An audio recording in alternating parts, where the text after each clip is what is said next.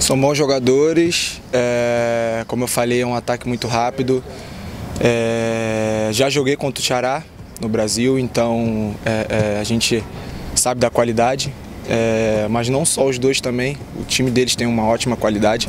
Sabemos que o nosso time também tem uma ótima qualidade e a gente vai tentar neutralizar totalmente, é, não só os dois, mas o time inteiro para que a gente possa é, é, fazer mais um grande jogo e consequentemente sair com a vitória. Yeah, uh, I've played against Chara in Brazil. Uh, I know his uh, potential. He's a great player, but not just Chara, all the others as well. And uh, I think we just got to focus on our game and then uh, uh, make a good game and not concede any goals and come back with a win. thank you.